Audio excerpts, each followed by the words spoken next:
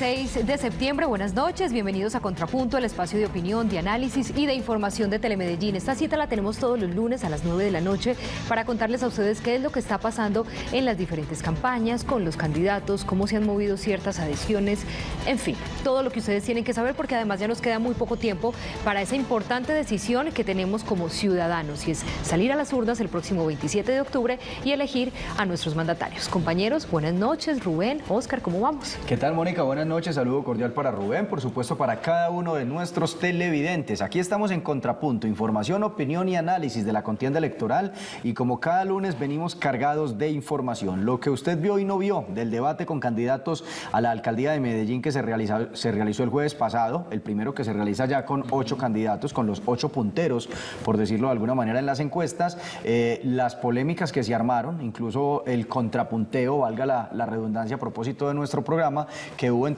algunos candidatos y, como no, también le vamos a estar contando detalles de las nuevas adhesiones que ha habido en las diferentes campañas. Muy bien, doña Mónica, don Oscar, muy buenas noches para usted, también para toda nuestra querida y gran audiencia. 44 días para el día de elecciones. Nada. Y está, ¿Nada o mucho? A veces es mucho tiempo, 44 días para las elecciones eh, eh, territoriales es mucho tiempo porque puede pasar de todo, pero Sí, usted sí. lo ha dicho, Oscar, y es que digo que la última encuesta de Inbamer perfiló un poquitico más los candidatos, uno ya ve unos candidatos que están como en la, van a empezar la recta final con cierta viabilidad, hay otros que no tanto, mucho más quedaditos, ya se empiezan a notar y a ver las adhesiones que se pueden presentar. Incluso por ahí se habla, lo vamos a contar más adelante, pero por ahí se habla ya de posibles alianzas entre los quedaditos, como les dice Rubén, entre los que están eh, de coleros en esas encuestas, eh, también no, no, digamos, no, no, no tiran la toalla todavía y por ahí nos contaron de algunas posibles alianzas que va a haber también en esas campañas. Bueno, eso nos interesa saberlo, así que durante el programa lo vamos a estar eh, contando. Además, invitado como cada lunes, hoy tendremos candidato a la gobernación de Antioquia, que en nuestro segundo bloque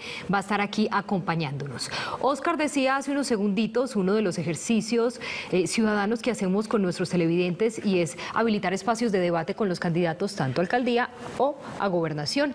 Pues el pasado jueves tuvimos, como usted lo decía, con los ocho que puntearon según la última encuesta de Inbamer Sí. y los tuvimos en debate. De ahí se generaron varios eh, enfrentamientos, o llamémoslo más bien rifirrafe, como confrontaciones entre ellos para debatir diferentes temas, señores. Ya están tomando más posición, por lo menos ya es lo que, lo que se ve.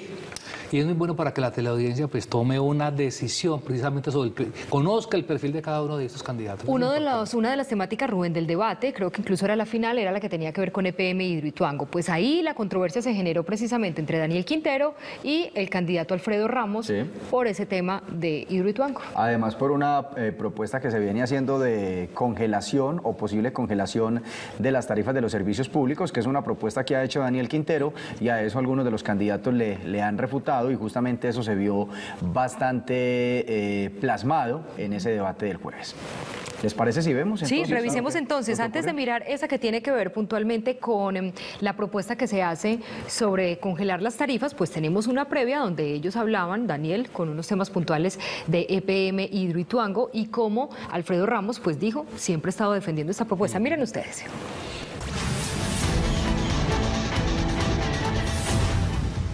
Necesitamos a una EPM que se recupere y para eso se necesita la verdad, se necesita saber quiénes son los responsables, no para, para castigarlos, sino para que paguen. Es que si no pagan ellos, nos toca pagar a nosotros en EPM.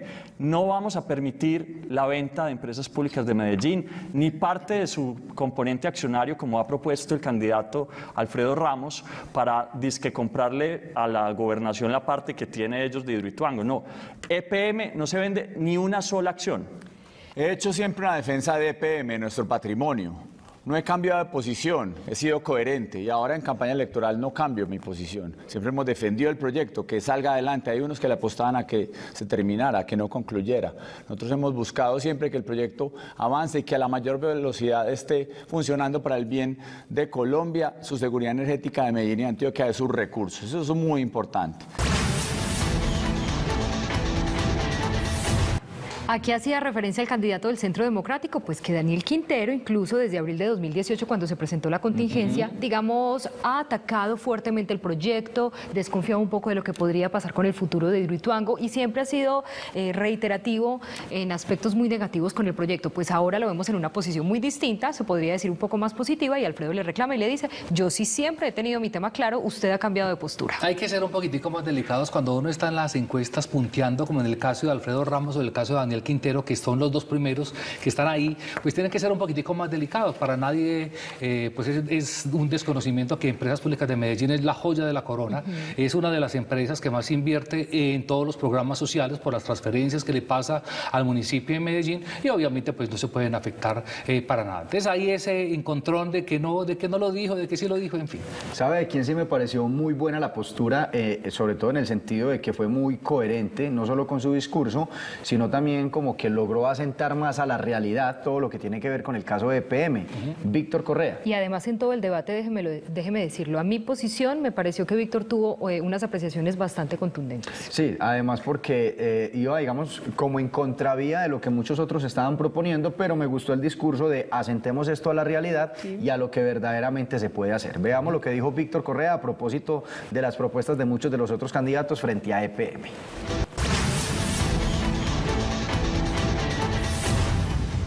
¿Quiere decir que usted modificaría, por ejemplo, el porcentaje de las transferencias de EPM a la ciudad de Medellín con la que se hacen proyectos específicamente sociales en la ciudad?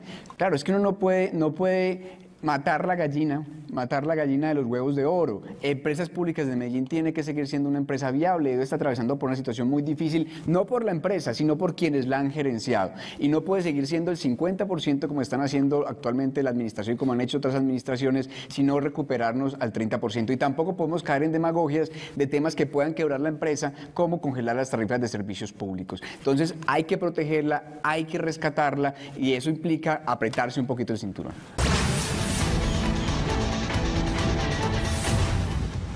Bueno, ahí estaba aterrizando todo el tema de lo que tenía que ver con EPM, con transferencias y cómo contrapuntaba esas, esas propuestas de algunos de los candidatos. Y eso está bien, yo creo que eh, Víctor Correa lo ha hecho muy bien. Ahí lastimosamente pues eh, la, encuesta, la última, no lo favorece mucho, está, con, está en la cola como usted lo manifestó, pero bueno. ¿Y con el qué podría pasar? ¿De pronto ahí eh, unirse de esas posibles? Pues recordemos que ya habíamos hablado en alguna ocasión de un acercamiento que hubo de algunos candidatos como para hacer una coalición, pero no hubo como opción ahí. No prosperó. De todas maneras, eh, en aras de, lo que se avecina en el tema de alianzas y coaliciones y, adhesiones además, Víctor Correa, al igual que Beatriz Rabe, terminan siendo los candidatos más opcionados a una posible alianza de los que están como alternativos, como independientes o que pertenecen a estos políticos, a estos partidos políticos nuevos, como el PRAE, como la, la, ADA, ¿es que se llama? Sí, la ADA. Exacto, todos estos partidos, pues, pues finalmente, por un lado Beatriz Rabe y Víctor Correa tienen más eh, representatividad y más reconocimiento público y por otro lado las mismas encuestas les ha ido mucho más amigos porque recuerda que Beatriz Víctor, eh, perdón, que eh, Víctor Correa pues hace parte también de la línea del MOID apoyado por el MOID aquí en el departamento de Antioquia que son los mismos del senador Jorge Robledo que es muy amigo de Fajardo y Beatriz Rabe pues es integrante del Partido Verde y hace, hace parte pues de Compromiso Ciudadano. Ya se había dado que ahí se podría generar alguna posible acercamiento. En las elecciones presidenciales en la campaña presidencial del año anterior se dio la famosa eh, mm, Alianza eh, Gran Colombia, ¿era que se llamaba? Sí. Eh, eh, Alianza por Colombia, la Alianza por Colombia. Bueno, en fin, se me escapa. se me del escapa Polo, Partido Verde y algunos ah, otros varios. exacto, exacto. Entonces ahí realmente ya eh, son, son viejos conocidos, por decirlo de alguna manera. Y con ellos también estaremos pendientes a ver qué pasa, aunque son, como lo decíamos al inicio, los coleros, pero ahí también es importante esas adhesiones que se van a ir generando. Al final del debate, cada candidato tenía un minuto para despedirse y para decir por qué debían votar por él. Pues uno de los candidatos que tuvo una intervención eh, bastante contundente fue el candidato Santiago Gómez. Los voy a invitar para que veamos qué fue lo que digo y ustedes ya me, me dirán a ver qué, qué opinan. Aquí está.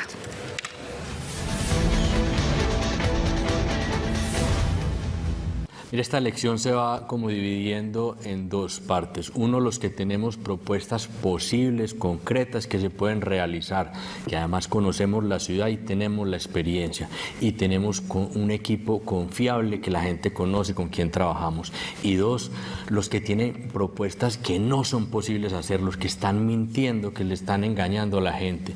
Por ejemplo, Daniel, el decir que va a congelar las, eh, las tarifas de EPM, eso es sacrificar Hidroituango. Eso es mentir, Daniel, no lo atacan. Lo, que pasa es que decir, decís muchas mentiras. Por ejemplo, no sabemos si el gerente de PM tuyo va a ser liberal o petrista o independiente, porque cada año cambias de partido. Alfredo, por ejemplo, no conoce la situación financiera del municipio y dice que va a ser un metro de San Antonio a Robledo. Entonces, mire, propuestas concretas, no arriesguen el futuro de la ciudad. Esta es la ciudad de todos, la que queremos, la que estamos construyendo. Señores, ahí lo veían. Contundente, yo sí, creo que claro y contundente. contundente con, con Daniel Quintero, el, el, candidato Santiago, Santiago Gómez. y eso fue en el momento de despedida. De hecho, hay algunos que aprovechan ese minuto de despedida en los debates para decir por qué deben votar por ellos, pero otros en este caso para tirar lo que comúnmente conocemos en política como los hablazos o los varillazos. Y además, eh, digamos, ya habían pasado los primeros candidatos, Juan Carlos Vélez, Alfredo, Daniel, entonces ya ellos no tenían como la opción también de pronto de, refutar un poco lo que dijo y ahí terminó entonces esa despedida de Santiago. Ahí Pero ahí están, ahí están los cuatro que según Inbamer pues tienen opción. Ahí están los cuatro, son los que pues, precisamente se están contrapunteando. Y a propósito de eso, la semana, eh, finalizando la semana anterior, se, dieron cuenta de la carta que emitió el senador liberal eh, Iván, Iván Darío Abudelo, quien hacía parte del grupo político de la Universidad de Medellín. Sí. se lo ha manifestado eh, sobre la importancia de la candidatura de Daniel Quintero. Y en el último parrafito que creo que usted está viendo la carta. Sí, señor, por aquí lo le tengo. Dice, hombre, yo invito a las bases del partido para que adhieran y apoyen la candidatura del independiente Daniel Quintero. Mire, sí, textual, y ahí ustedes también la están viendo en pantalla y vamos a hacer referencia a ese último párrafo que dice, finalmente como senador liberal quisiera que las bases de nuestro partido y de otros partidos y movimientos que tienen aspiraciones de una sociedad mejor nos, nos decidiéramos apoyar a Daniel Quintero como líder que mejor nos puede representar en la alcaldía de una de las ciudades más importantes de Colombia, Medellín. Uno, uno no sabe qué, tan benéfico sea ese apoyo. O sea, una campaña de Daniel Quintero que hoy se está eh, trabajando como independiente precisamente y está intentando desligarse de todas esas, de esos partidos a los que estuvo o perteneció. Pues uno no sabe si un apoyo del Partido Liberal aquí en el departamento de Antioquia le haría bien o le haría mal. Terminaría yendo un poco en contra de la filosofía de lo que se quiere vender y, eh, o lo que se, quiere mostrar con la campaña. Que hasta de la dirección nacional del partido pues existe alguna oportunidad o posibilidad de que le apoyen la campaña, ¿cierto? A, mí me preocupa mucho es que nuevamente surge otra intención con Daniel que finalmente le termina haciendo más daño. Esta también podría incluirse como aquel guiño de ojo que le hizo eh, el ex candidato presidencial Gustavo Petro, que le puso el trino, que él respondió. Finalmente, cada, cada que se manifieste por esa condición de Daniel de, de aspirar como independiente, pues cada una de estas propuestas siempre le van a ir haciendo ahí diferente. porque además estaba molesto también. Y hay otra cosa, exactamente, que también hay que decirle a Daniel que le baje, que, que, no se preocupe, porque hay una cosa que, o sea, es una verdad de perogrullo. O sea, Daniel Quintero es un tipo que a mí personalmente me parece muy inteligente, creo que lo está haciendo muy bien, pero él no puede desconocer que viene del Partido Conservador. O sea, su génesis como político lo hizo mm. en las bases eh, del Partido Conservador.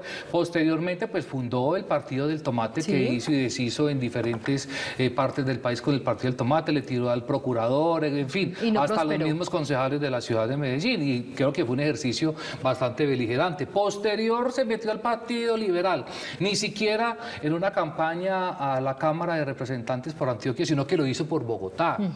Posterior a eso estuvo con el plebiscito, en pro del plebiscito, apoyando la campaña de Humberto de la Calle, también integrante del Partido Liberal. Después estuvo pues gran parte del tiempo en el gobierno gobierno de Santos y hoy pues es independiente y es absolutamente válido. Pero él no, y, y apoyó a Petro además. Esas eran las que les apoyó iba a, Petro. Daniel Quintero salió a decir públicamente, yo soy Daniel Quintero y quiero que Petro sea mi presidente. Ahora, que él se incomode porque se lo recuerde, pues que es el juego. Hmm. Es el juego, que se caiga lo que esté flojo, mi querido Daniel. Y lo ¿Qué cierto es que una mentira no es. Ah, no, no, no, no. Es una verdad nada, que porque tal están, vez de pronto pues, le todas molesta, las evidencias. pero Él- se incomoda un poquito porque obviamente al estar en el segundo puesto en las encuestas, pues se convierte en objetivo de. Sí. Y que tiene de pronto un poquitico asustados a Centro Democrático también es verdad. Pero bueno, creo que, eh, reitero, faltan muchos días, unos 40 y punte días y esto Sí. se va cuadrando, mi Sin querido. duda.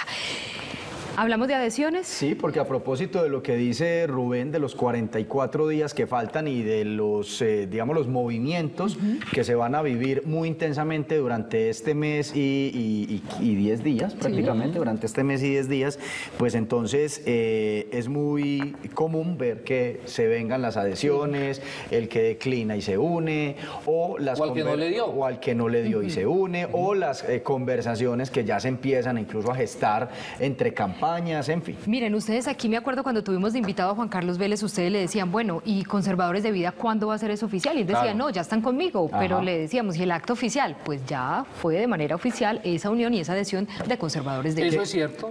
Que incluso dejó, discúlpeme Rubén, que incluso dejó ahí, digamos, como la pregunta de, bueno, ¿y el Partido Conservador entonces qué? ¿Cómo Porque queda? se le sumó conservadores de vida a Juan Carlos Vélez, pero recuerden que Germán Blanco ya había llegado a la campaña Sí. de Alfredo, Alfredo Ramos. Ahí estamos viendo imágenes de ese momento oficial en el que se unen eh, los denominados conservadores de vida, liderados por los congresistas Juan Diego Gómez y Nicolás Albeiro Echeverry. También hacen parte de ese grupo los concejales eh, Jaime Moncada. Jaime Moncada, John Jaime Moncada y Carlos Alberto Zuluaga recién llegado. Y el no combo. también, o sea, son tres, Ese- son todos Ese no era ese combo, ese llegó hace poquito. Sí, los nuevos. Venga, sáqueme de una duda, ¿el Pilarico se fue? No, el Pilarico está haciendo, está haciendo campaña en la Asamblea, Asamblea No, Departamental. no, no, no, pero digo, se fue de conservadores No, de no, vida. no, no, no, él hace parte. Todavía sigue estando parte ahí. allá, claro. Ah, bueno, supuesto. al igual que el Sigue diputado firme. Juan Esteban Villegas. El que usted lo acaba de decir, es Carlos Alberto Zuluaga, que lo desahuciaron en Bello de la Casa En el Suárez se quedó solo, entonces le Entonces "Hermano, cogió a ahí". conservadores. Ahí está, parte de sus movimientos y adhesiones. Ahí veían ustedes las imágenes de ese momento oficial. Me acuerdo que aquí se lo preguntamos y bueno, ahí lo tenemos en las imágenes. No ha sido la única adhesión de los últimos días que se ha presentado en las diferentes campañas. Ahora, pero perdóname una cosa. eh, hoy están, conservadores de vida están con Juan Carlos. Recuerden, faltan 44 días exactamente para el día de elecciones. A ellos tampoco les, les, les- no les choca el nombre de Santiago Gómez. Y usted sabe que 44 días de elecciones es muchísimo tiempo. No, y Mire, además por lo que decíamos, el conservatismo está en una división para alcaldía de Sí. Medellín. Entonces, los conservadores de vida con Juan Carlos, eh, Germán Blanco con Alfredo. Con Ramos. Y recordemos que el trujillismo se fue con Claro, Jesús, Aníbal. Sí. Y si a Se eso fue le, con Jesús Aníbal. Entonces falta que, por decirlo de alguna manera, le a la, a la otra campaña que es la de Santiago. También, que quede ahí. Hay que mirar a ver Y si a eso le eso. sumamos que Juan Carlos Vélez, según las últimas encuestas, pues ha estado un poco abajo. Mientras que Santiago también ha estado ahí eh, subiendo, entonces falta también que ellos tomen la Hace- decisión. Es decir, ocho- hace ocho días conser- conservadores de vida irán hasta el final con Juan Carlos Vélez. Pues hombre, es que Mónica, faltan, vuelvo y reitero, faltan 44 días en, el- en una campaña electoral, usted amanece como rey y al otro día amanece como mendigo. Entonces hay que esperar un Dios poquito, mío. hay que esperar que vayan pasando los días. Eh, las, de todas maneras, las encuestas, que es la, la fotografía del momento, pues esperemos cuáles son las próximas que nos van a revelar y ahí vamos viendo cómo se va eh, dilucidando esta dinámica, ¿cierto? Sí, señor. Eh, de la otra adhesión que vamos a conversar también aquí a contarle a los televidentes es la de Santiago Gómez. Se le- Recibió apoyo, Claro, recibió recibió apoyo de apoyo. varios exsecretarios. Se le sumó ahora uno Ah, la- que claro. sin duda hay que, hay que reconocerlo eh, y es Luis Guillermo Patiño, exsecretario de Educación de Medellín, una de las carteras más importantes para la ciudad, incluso el mayor presupuesto de Medellín, por lo menos en esta administración fue para educación. Él se retira de la alcaldía y se suma entonces a apoyar a Santiago Gómez. Esto también, lo siento yo, es como un respaldo de continuidad en lo que Santiago ha sido insistente de conservar parte del gabinete que permita garantizar continuidad en las obras y en las propuestas. Leí por ahí en un medio colega, se me escapa el nombre en este momento, pero lo denominaban como la hormiguita de Fico refiriéndose a, eh, a Luis Guillermo Patiño, precisamente como por todo ese trabajo que realizó, no solo en el tema educativo, sino en lo que tiene que ver con, eh, con eh, el tema de, de- de- de trabajarle a esta administración. Entonces el hecho de que llegue a la campaña de Santiago Gómez, pues también es un espaldarazo que lo que hace es enviar un mensaje de continuidad, como lo ha querido desde el principio Santiago Gómez en su campaña. Y aparte de, de- de Luis Guillermo, también se supo de la adhesión oficial del subsecretario de Juventud Sí. de, Ah, sí, de de- Bedú, Andrés. de Alejo de Bedut. Andrés, Alejandro, Alejandro de Bedut. Ah, Andrés el papá, creo. Sí, sí, sí. A Alejandro de Bedut, exacto, que aunque va para el exterior a continuar con un doctorado, se sumó oficialmente a la campaña de Santiago Gómez. Recordemos que Alejandro de Bedut hizo un trabajo muy interesante con los Sí, jóvenes total. de la Muy ciudad. interesante el primero que ayer y se va. Muy bueno. Muy raro, pero primera vez que lo veo. Pero No, lo No estamos crea, viendo en él pantalla, lo que pero- hizo fue, es, renunció, se fue a estudiar y desde allá sí ha manifestado eh, ese, ese tema de poder desde por fuera trabajar o hacer alguna algún tipo Además, de apoyo. recordemos, hay una gran colonia de medellinenses en el exterior y muchos de ellos podrían, muchos de ellos podrían eh, eventualmente repuntar con votos en la capital de Antioquia. Escuchemos entonces qué dijo Luis Guillermo Patiño, exsecretario de Educación de Medellín y ahora que hace parte de la campaña de Santiago Gómez.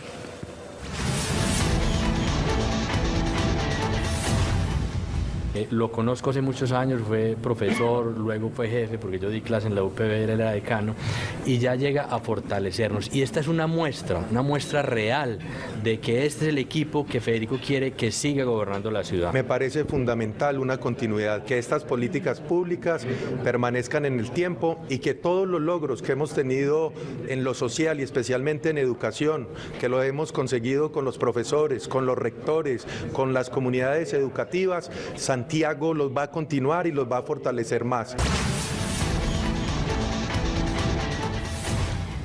Bien, ahí veíamos noticias de Alfredo Ramos, Daniel Quintero, por supuesto Santiago Gómez. Juan Carlos Vélez. Juan Carlos Vélez también abordamos algunas de sus temáticas, pero nos queda en el aire un candidato que está como entre el sí, no, ¿qué pasa con él? César Hernández. ya sí, es ya es excandidato. candidato. Sí, ya, Mientras eh. sus firmas sigan así eh, eh, en el aire, pues es Medellín evoluciona. ¿Para dónde va César? ¿Qué va a pasar con él? Vivía un César, pues no sé, políticamente. Yo creo, ya indiscutiblemente, pues ya la registraduría no le, no le dio el chulo a, la totalidad, de- al mínimo de firmas, que son son 50 mil, solamente llegó a 43 mil y punta. En un Miren lo que publicó hoy. sí, Me eh, permite, sí, le leo sí. el, el trino que publicó hoy César Hernández. Una semana muy intensa después de la notificación de la registraduría, donde hemos recibido muchos mensajes de solidaridad y apoyo.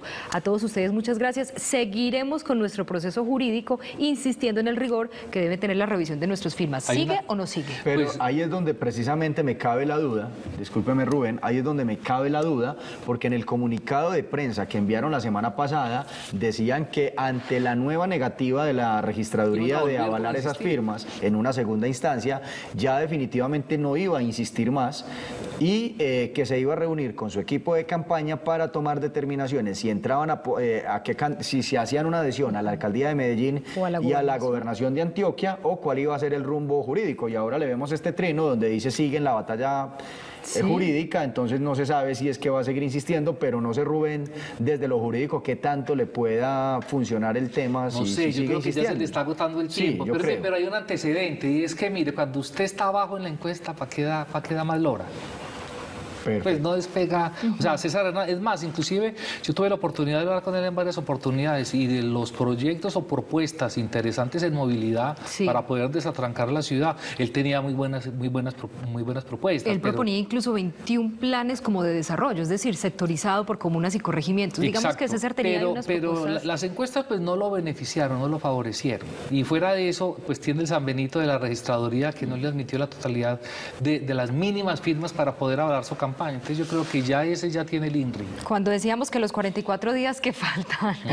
Ay, Rubén. Qué cruel.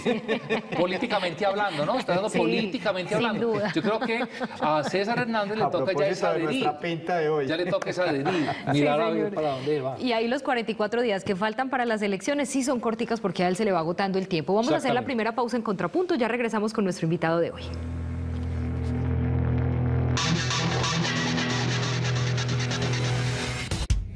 Estás viendo Contrapunto.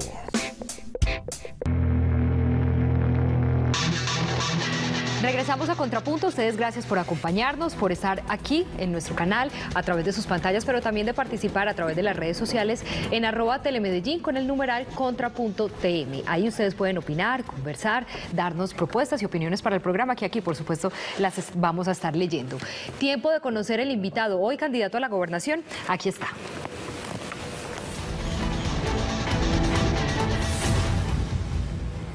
Ya lo tenemos en estudio, Mauricio Tobón Franco, aspirante por el Movimiento Independiente Tú Puedes, economista de la Universidad de AFID, con especialización en ciencia política de la Universidad Pontificia Bolivariana, concejal de la ciudad, presidente del Consejo en el año 2007, gerente del Instituto para el Desarrollo de Antioquia, IDEA entre los años 2016 y 2018, gerente del medio de comunicación digital Minuto 30 y director del Parque de Manantiales High Tech Science Park. Y está aquí con nosotros Mauricio Tobón. Bienvenido, candidato. Gracias por estar en Contrapunto. Mónica, Muchas gracias por esta invitación. Un saludo muy especial para ti, Rubén, Oscar y para todos los televidentes.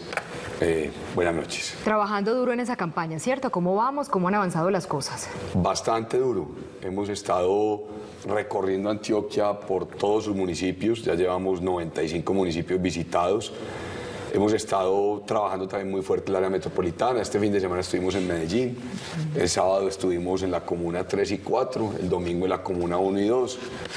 Y para nosotros los independientes, los que no tenemos estas estructuras de los partidos y de las maquinarias, el trabajo tiene que ser mucho más arduo porque nos toca el uno a uno, el dar la mano, el saludar, el conversar en las calles. Es un trabajo bastante eh, agradecido, de mucha emoción y bueno, es hoy la tarea que estamos haciendo para que seamos elegidos gobernador de Antioquia el 27 de octubre. Mauricio, precisamente con ese tema de ser un candidato independiente, la pregunta que a uno le cabe es, en este panorama de candidatos a la gobernación de Antioquia, ¿qué tan fácil ha sido hacer esa campaña o qué tan complejo? Cuando, por ejemplo, hay algunos candidatos que la mitad de los partidos políticos se los han llevado, hay otros que representan eh, algunos partidos, pero solo representan a ese partido y usted decide irse por firmas y eh, incluso en sus propuestas publicitarias se, se, declara como un candidato independiente. Entonces uno dice, bueno, eh, contrario o, de frente contra esas estructuras políticas, ¿qué tan fácil o qué tan complejo es hacer una campaña? A ver, Oscar, es, es de mucho más trabajo, pero mucho más emocionante. La independencia hoy eh, nos llena de propuestas, de cercanía con la ciudadanía, estar alejado de los partidos, eh, y de esas viejas maquinarias nos permite una mejor conexión con el ciudadano. Definitivamente los partidos se han alejado de la causa ciudadana, ha pasado a ser el ciudadano de segunda y priman sus intereses frente a los que puedan tener las personas. Nosotros nos estamos conectando con los ciudadanos, estamos hablando permanentemente de nuestras propuestas. Nuestra propuesta fundamental es la generación de empleo en Antioquia, empleo de calidad, con posibilidades para que hayan cientos de miles de, empleo en este departamento, estimulando fundamentalmente dos sectores, turismo y agricultura, con oferta exportable en las regiones del departamento, desarrollando infraestructura, educación, seguridad y orden en el territorio para que esto se pueda dar. Y hemos tenido una muy buena acogida. Hoy Antioquia va a dar un cambio. Yo estoy seguro de eso. Medellín ya no elige las maquinarias políticas, ustedes lo saben mejor. Pero para allá voy. ¿Funciona todavía eso? Porque vea, hace cuatro años Vladimir Rico tenía todos los partidos, tuvo toda la foto. Plana, plana mayor. Hace, hace eh, ahorita el año pasado, el año pasado Vargas tenía todos los partidos. Y hoy usted ocho años, hace ocho años eh, recuerde que había un candidato que era Álvaro Vázquez y tenía todos los partidos ah, sí, y lo derrotó Sergio Fajardo. Además, sí, además. Y, y, y, ahorita las presidenciales con Germán Vargas Lleras también tenía todos los partidos políticos y como que no le funcionó. ¿Usted cree que eso ya cambió? Yo creo que eso ya cambió. Medellín, ustedes hoy no están pendientes de quién va a sumar todos los avales y quién va a sumar a todos los senadores y a todos los congresistas para decir ese va a ser el alcalde. Hoy en Medellín el panorama es completamente eh, de incertidumbre, digámoslo así, para saber quién va a ser el alcalde de la ciudad. Y es precisamente por eso, porque hoy ya mandan los ciudadanos en Medellín. Hoy los ciudadanos son los que deciden. Fundamentado ese voto en las propuestas, en la cercanía con ellos, en la conexión con los ciudadanos, y ya es hora de que Antioquia dé ese cambio. Antioquia tiene la oportunidad el 27 de octubre de decirle no más a las maquinarias, no más a los partidos, no más a todas esas viejas prácticas que hemos catalogado eh, como de atraso para el departamento de Antioquia y es la oportunidad de elegir un independiente, de elegir una persona que fue avalada por los ciudadanos y que mi único compromiso es con ustedes. Yo quiero llegar a la gobernación el 27 de octubre, elegido y el primero cuando me voy a posesionar llegar con los 6 millones de antioqueños a escoger las mejores mujeres y los mejores hombres para gobernar y no llegar con cuatro partidos a repartir los puestos y a repartir los contratos, que es la obligación que tienen los que hicieron transacciones con los partidos. Puestos amarrados ya. Puestos amarrados. Para mí el ejemplo más claro de lo que es Antioquia es la elección del alcalde Federico Gutiérrez hace cuatro años. Yo veía siempre a don Federico dándose la mano con los ciudadanos, conversando en las calles, cercano a todo el mundo. Había un alcalde prácticamente elegido en ese momento, que las encuestas lo daban ya como el, el próximo alcalde de Medellín, y Federico eh, Gutiérrez, nuestro alcalde, en una semana subió 17 puntos en las encuestas, en una semana. Y eso eh, hoy también seguramente se va a ver reflejado en Antioquia. Hoy queremos los antioqueños un gobernador independiente que piense en los 6 millones de antioqueños, sino que piense en ver cómo le entrega los recursos y le entrega el departamento a los partidos políticos. Candidato, usted fue gerente del IDEA entre el 2016 y 2018, es decir, en la administración de Luis Pérez Gutiérrez, actual gobernador del departamento. ¿Por qué no existe algún tipo de apoyo por parte del mandatario de los antioqueños hacia su campaña? ¿Por qué tuvo que ser independiente? Incluso Rodolfo Correa, que también hizo parte de su administración, y aquí se lo preguntábamos, pero cada uno como por su lado. Ninguno es de la continuidad. A ver, yo llegué al gabinete del gobernador Luis Pérez porque conocía él mi desempeño profesional y me invitó a participar por esta razón a su gabinete pero nunca yo llegué representando un partido político o con la obligación de que tenía que seguir al gobernador Luis Pérez. Él fue muy amplio con eso. Él me permitió entrar al gabinete. Inclusive mi tarea desde la idea fui muy independiente porque él así lo permitió. Y cuando se toma la decisión de aspirar, tomamos la decisión de ser independientes, de salir a buscar ciudadanía. Hoy, por supuesto, voy a ser gobernador y voy a seguir muchas de las importantes obras del gobernador Luis Pérez. Hay que hacer el ferrocarril, hay que seguir las placahuellas, hay que hacer el puerto Urabá, hay que sacar adelante las 4G, hay que seguir con la universidad digital. Muchas de esas grandes obras del gobernador hay que seguirlas y continuarlas. Pero Mauricio Tobón, elegido el 27 de octubre, el primero de enero, le responderá a los ciudadanos de Antioquia, no le tiene que responder a ningún jefe político. Doctor Mauricio, mire una cosa, las encuestas. Pues uno le pega las encuestas porque son la foto. Pues hay unas, por ejemplo, por ahí sale una encuesta súper chimba que uno no sabe pues, de dónde sacaron eso, pero por lo menos hay unas que uno dice, pues tienen más seriedad, son serias toda la cosa. Puntean a Aníbal Gaviria y a Andrés Guerra. El resto de los candidatos, muy buenos todos para qué, pero ahí quedados rezagados. ¿Cómo, ¿Cuál es la lectura que usted le hace a las encuestas de la fecha? Hay que mirar otro tema, Rubén, cuando se ven esas encuestas. Y es que hasta hace una semana 62% de los antioqueños no sabían por quién votar. Hay una indecisión completa hoy en el tema del voto de gobernación. Y desconocimiento también. Por supuesto, Mónica. Quienes se llevan el reconocimiento hoy es Aníbal Gaviria, que fue gobernador de Antioquia y alcalde de Medellín, Andrés Guerra, que lleva seis, siete años en campaña de la mano del expresidente Álvaro Uribe, y la gente cuando le preguntan en una encuesta en la calle, pues inmediatamente piensa en el que conoce y por eso manifiesta su intención de voto, pero 62% de los antioqueños hoy no saben por quién votar. Por eso hoy, quienes estamos ahí, las encuestas me han mostrado a mí siempre como el, el tercero después de Andrés Guerra y en algún momento inclusive empatado con Andrés Guerra, yo sé que los antioqueños quieren la independencia y van a elegir a Mauricio Tobón como su gobernador porque no tiene que llegar a cumplirle los compromisos a ningún partido político, sino a la ciudadanía. Mauricio, eh, en este tipo de contiendas obviamente se ven eh, diferentes posturas y se aprovechan diferentes escenarios además para eh, hacer reclamaciones incluso públicamente. Se conoció la semana pasada unos audios de la Fiscalía donde se mencionaba una conversación suya con el entonces subcontralor Rubén Darío Naranjo. Usted en su momento salió y dio la explicación en medios de comunicación de a qué se refería esa conversación, pero vimos este fin de semana a Luis Fernando Suárez, que hace parte de la campaña de Aníbal Gaviria, lo vimos, eh, digamos... Eh, atacando. atacando bastante, dándole duro, como decimos popularmente en Antioquia, dándole duro a usted con, eh, con base en ese tema de, la Contraloría. ¿Qué responder y, cuál es su lectura frente a eso? Y la causa de que lo esté atacando también. Primero, Oscar y Mónica, quiero decirles que la llamada es una llamada completamente institucional, que la oyeron ustedes y la puede oír cualquier medellinense, cualquier antioqueño, donde el Contralor General de Antioquia llama al gerente de la IDEA a pedirle una cita para ir a presentar su comisión de auditoría, la comisión oficial de la Contraloría de Antioquia para el proceso de auditaje. Y yo le entrego una cita a él en la oficina de la IDEA a las 8 de la mañana del día siguiente. O sea, es un tema de agenda. Completamente institucional. O sea, completamente institucional.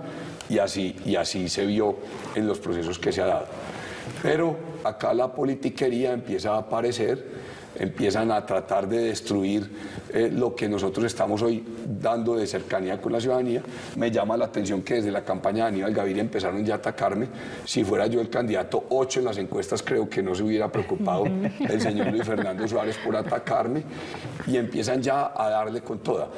Pero por eso, eh, Oscar, porque eh, lamentablemente eso se está convirtiendo en la política en Colombia. La política en Colombia empiezan estas fases finales y es el que más mal hable del otro, el que más destruya al otro, el que trate de mostrar esos puntos negros en la, en la vida del otro. Y lo que yo le he dicho a todo el mundo, mi vida es completamente transparente pueden averiguar hasta el último detalle y mi comportamiento en la cosa pública ha sido transparente. Hoy yo no tengo ninguna sanción ni en Procuraduría, ni en Contraloría, ni en Fiscalía de ningún tipo por mi manera de actuar en lo público. Luego esto aparecerá. Es incómodo, por supuesto, eh, cuando, cuando te llama un familiar o un amigo a preguntarte qué pasó esto y contar esa historia, pero yo estoy completamente tranquilo porque hemos hecho las cosas bien y decentemente y por eso es que quiero ser el gobernador de Antioquia por un tema también de ocasión. Pero lo que uno se pregunta aquí, Mauricio y compañeros, es, o sea, desde lo político, ¿qué tanto puede servir ese tema de atacarse, de esculcarle por allá la vida al otro, de aprovechar este tipo de espacios para darle varilla al otro? O sea, ¿eso qué tanto se puede ver reflejado en votos cuando realmente uno esperaría en un departamento tan grande como Antioquia, que tiene unos problemas sociales impresionantes? Leí esta mañana en la prensa que la troncal del café va a estar cerrada hasta marzo del año 2020. Por Dios, y así no, por el estilo. eso de por allá. Eh, eh, Entonces uno dice, bueno, ¿por qué realmente no se dedican a buscarle soluciones a los problemas del departamento en lugar de estar no solo atacando a otros candidatos, sino también como algunos candidatos persiguiendo periodistas o confrontándolos, pues? ¿Y Oscar, cuánto distraes una Mónica, campaña también, candidato? Lamentablemente, hay gente que piensa que la política se hace así, destruyendo a los demás, poniéndole puntos negros, calumniándolo en redes sociales. Este fin de semana yo cogí un- unos comentarios de redes sociales y empecé uno por uno, uno por uno y los contesté yo. Esto no es así, esto no es así, esto no es así, esto es de esta manera. Y la gente quedó completamente tranquila, pero creen que van a ganar tratando de legitimar la propuesta que se tiene, evocando un montón de, de calumnias y de hechos que no tienen sentido. A mí me preocupan los antioqueños, me preocupa ese 12% de la cosecha del café que tiene que salir de esa zona del río San Juan y del río Penderisco y que hoy está en problemas porque no tenemos troncal del café. A mí me preocupa ese 5% de niños que hoy tienen desnutrición crónica en el departamento de Antioquia. A mí me preocupa ese 31% de embarazos adolescentes que se dan en el departamento. A mí me preocupa hoy el 19.5% de desempleados que tenemos en Antioquia. Esas son mis preocupaciones y por esas quiero trabajar. Y desde ayer me nació una. Ayer estuve el sábado y el domingo, estuve recorriendo la comuna 1, 2, 3 y 4 de Medellín. Y acá hablamos mucho, Oscar, del tema del consumo de drogas, pero no hablamos del consumo de alcohol. Vi alcoholismo puro en Medellín las caminadas que yo, que yo tuve este fin de semana. En toda puerta de, de una casa abierta y en todo rincón del barrio, borrachera fija. Y eso, pues dirán, no, es de los paisas, somos muy divertidos, muy alegres. No, eso pasamos- desencadena por lo bien. general. Pero eso termina en temas de violencia intrafamiliar, en temas de incumplimiento en las obligaciones que se tienen dentro de una familia y que es un tema que lo tenemos que empezar a trabajar muy fuerte también en, en esta sociedad. Esos son los problemas que a nosotros nos tienen que importar. Si el otro hizo, no hizo, si dice o no dice, a mí, a mí la verdad no me importa. A mí me importa que los antioqueños quieren tener un gobernador independiente y ese es Mauricio Tobón. Bien, muy bien. Óigame, doctor Mauricio, yo le digo una cosa. Ahorita que en campaña electoral pues, se presenta y todo, ¿no? Pero usted comiendo las me Yo no, yo no me estoy comiendo la uña, sino que, sino que estaba viendo aquí porque que estoy poniendo pose intelectual para preguntarle a usted. Se pone misterioso, Es que me misterioso. pongo misterioso. Pero vea, mire, en campaña electoral se presenta de todo. La misión de observación electoral pues ha denunciado pues algunas irregularidades, trasteo de votos, etcétera. Pero hay uno que preocupa bastante y es las zonas vedadas. Es- esos territorios donde ustedes definitivamente no pueden ir a hacer campaña porque los amenazan o porque ya tienen compromisos, inclusive esa mano negra ya tienen compromisos con otros candidatos que también se han presentado. Dígame usted cómo le ha ido. Mire, yo he tenido dificultades, las he tenido en el Bajo Cauca. El caso de Cáceres, que lo Cáceres, en Cáceres. Exactamente. Lo Sí. tuvimos en Cáceres, lo tuvimos más leve en Turbo, lo hemos tenido en Medellín, en la comuna nororiental. Y uno cree que eso ya no pasa, pero en Cáceres nos dijeron que nos iban a echar bala. Le Tur- ofrecieron en- plomo. En, Turbo nos ofrecieron machete. Y ¿En dónde? En En, Turbo. Turbo. nos ofrecieron Dios machete. mío. Y, y en la Comuna Nororiental nos ofrecieron hace dos meses y medio, también nos ofrecieron bala. Esto es muy lamentable, porque todos tenemos derecho a ir a exponer nuestras ideas. Y mire qué triste lo que pasó en Toledo, la muerte del candidato del Centro Democrático, donde han descubierto las autoridades que era por un tema de política, no era ni por bandas criminales, ni por las disidencias de la FARC, sino un tema de un contrario político. Eso, eso no puede pasar y por eso tenemos que luchar porque esta sociedad cambie en, esas, en esos temas, Rubén. Antes de que hagamos un ejercicio que realizamos aquí con todos los eh, candidatos, le voy a preguntar si usted, ahorita nos hacía referencia a las encuestas, del fenómeno de por qué la gente, pues cuando le hacen la pregunta de una encuesta, pues vota por los que han sido más mencionados o nombres de recordación, pero usted va hasta el final o ve, digamos, en, en su camino de campaña alguna posible adhesión, alianza con otro candidato de manera que pueda eh, ayudarlos a tomar mucha más fuerza Mónica. y ganar. Para ser gobernador de Antioquia hay que hacerse elegir el 27 de octubre. Y yo tengo el firme convencimiento que voy a ser el próximo gobernador de Antioquia. Yo me metí en esto recogiendo las firmas de cientos de miles de ciudadanos de todo el departamento. Y corriendo también, le yo tocó hoy más tengo rápido. su aval, yo hoy tengo su fuerza y yo creo que este departamento hay que transformarlo con educación. Este departamento tiene hoy cinco universidades que son propiedad del departamento. Universidad de Antioquia, Politécnico, ahí Misa Sacadaví, Colegio Mayor, Tecnológico de Antioquia, Universidad Digital. No se hablan entre ellas, no hay eficiencias. Tenemos que lograr 150 mil nuevos cupos para la educación superior en este departamento. Nosotros hoy tenemos más o menos... eh, en, en lo que les decía ahora, 5% de los niños todavía con desnutrición crónica del departamento. Tenemos que fortalecer los programas para la niñez y la adolescencia en el departamento. Para mí la apuesta más grande es por los niños. Si este departamento la juega 20 años continuamente por los niños, este departamento va a tener equidad al futuro. Para mí, sacar adelante las 4G, sacar adelante el ferrocarril de Antioquia, tener seguridad en el departamento, activando temas que tienen que ver con videovigilancia, con todo el tema de nuevas tecnologías, con inteligencia, con oportunidades. Para mí esa es la Antioquia que queremos todos. Y como en eso estoy, pues me voy a ir a ganar. Le digo una cosa, Rubén, ustedes que hablan tanto de política, Mauricio Tobón es el gobernador de Antioquia, por fuera de los partidos y en Antioquia no se volverá a elegir un gobernador que elija maquinarias, va a seguir pasando lo de Medellín que van a elegir los ciudadanos y tenemos que lograrlo este próximo 27 de octubre.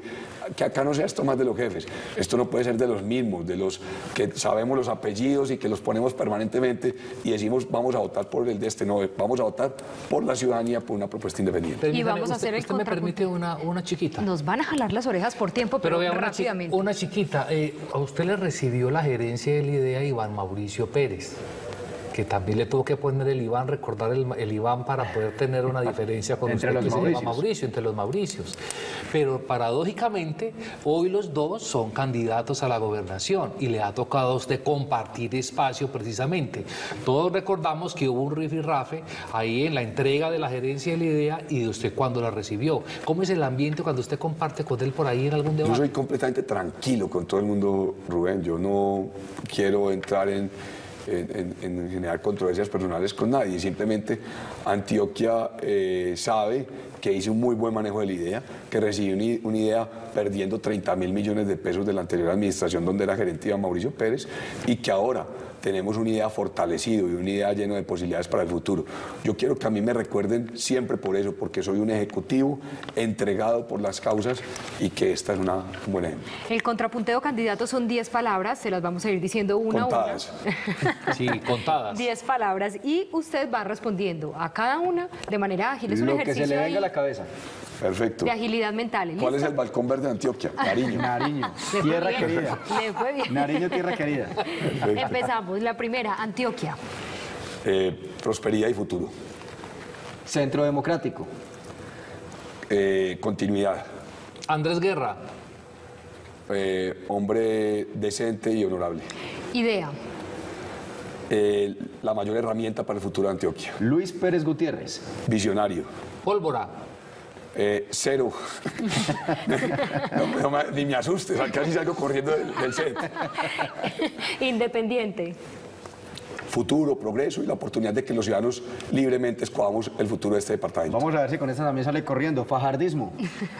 Eh, bueno, es una importante fuerza del departamento de Antioquia que ya ellos hoy deben de permitirle a nuevas fuerzas independientes como la nuestra eh, gobernar este departamento Una porque ellos ya palabra. hacen parte del pasado. Eran 10. Recolección de firmas. Eh, una dura batalla. Valor más. Eh, la compañía con más futuro para el desarrollo del departamento de Antioquia. Mauricio Tobón Franco, aspirante eh, por el Movimiento Independiente Tú Puedes a la gobernación de Antioquia. Gracias por habernos acompañado en esta noche y bueno, muchos éxitos como a todos los candidatos. A ustedes muchas gracias. Quiero decirle a los antioqueños que me acompañan el próximo 27 de octubre, Mauricio Tobón, candidato independiente, sin partidos, sin los jefes políticos y gobernador de 6 millones de ciudadanos. El del parche. El, El del, del parche. parche. Los invito a que se unan al parche. Una candidatura parchada. Así ¿Sí? es, así es. Vamos a hacer una nueva pausa para mensajes institucionales. Es muy breve y ya regresamos con nuestro bloque final en Contrapunto.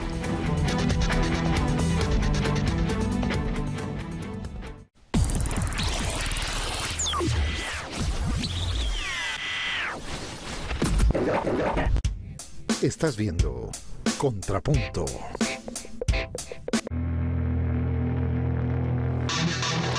Regresamos a la parte final de Contrapunto para contarles eh, ya finalmente algunos de los temas que han estado ahí también moviéndose en estos días. Uno de ellos, eh, por ejemplo, el de la famosa encuesta dudosa de poca confianza que estuvo circulando en los últimos días. Incluso ningún medio de comunicación la difundió porque es una encuesta pues que no tenía validez, que no tenía aval tampoco de... Tenía dos inconvenientes, del Mónica. CNE. El primero era la, la ficha técnica estaba como medio incompleta. Y lo segundo es que no estaba acreditada en el Consejo Nacional Electoral, Electoral. que ese es un requisito importante, especialmente porque es un insumo para nosotros los medios de comunicación, pues mostrar y revelar esa clase de medición. Entonces tenía esas dos perlitas nomás. Quienes trabajamos en medios de comunicación, ahí con el tiempo vamos como aprendiendo a identificar ese Sí. tipo de cosas. Es como cuando uno va a decir una mentira a la mamá o a la esposa. De una lo cogen. Sí. No, De- no, completamente. de Inclusive una la, lo identifica. la- la encuesta generó tanta incomodidad que desde el Partido Centro Democrático hicieron la respectiva queja ante el Consejo Nacional Electoral denunciando esa encuesta. La encuesta la realizaba una supuesta empresa encuestadora que tiene domicilio en Envigado, en un edificio que no tenía claridad ni validez de ese punto donde se encontraba, en fin. Pero hace es- parte, hace parte del juego, hace parte. Por eso hay que estar muy atentos. Sí, además porque las posiciones pues no, no coincidía de a mucho por más movimientos que haya habido en los últimos en las últimas semanas, no coincidía mucho con lo que ha pasado en las encuestas que se han tenido toda la validez. Eso generó reacción, por supuesto, en uno de los candidatos a la alcaldía, Oscar. Jesús Aníbal Echeverry, más específicamente, salió eh, en su cuenta de Twitter muy molesto, no solo a atacar esa encuesta falsa, sino a decir que no es cierto que vaya a haber una posible alianza. Dice, ante las dudosas encuestas, que además pienso denunciar penalmente, y los falsos rumores de mi negociación con otros candidatos, les digo que mi candidatura solo le pertenece a la gente y luchando unidos, y luchando unidos seremos alcaldes de Medellín el próximo 27 de octubre. Cierro comillas, en aras de la claridad, ¿no? Claro. Estoy leyendo un trino.